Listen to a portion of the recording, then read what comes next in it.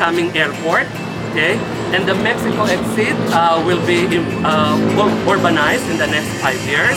And also the Barangay Kalulok will be the next town center of San Fernando. So talagang yung property na to is very promising in terms of investment.